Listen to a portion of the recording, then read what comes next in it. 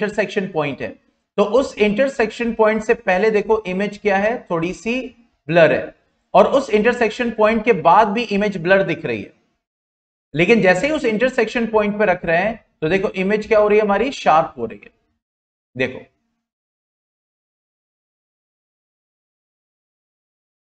है ना कमाल की चीज़? देखा?